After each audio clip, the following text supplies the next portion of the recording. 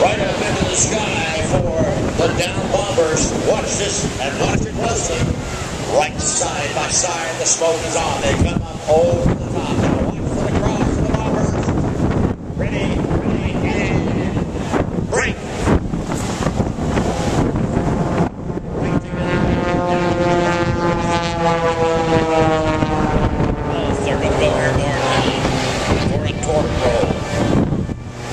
the right is Jack Knudsen. As they run out of energy. They'll all the power they've the engine keep the airplane turning as they back up. No more forward airspeed. Now both aircraft backing up.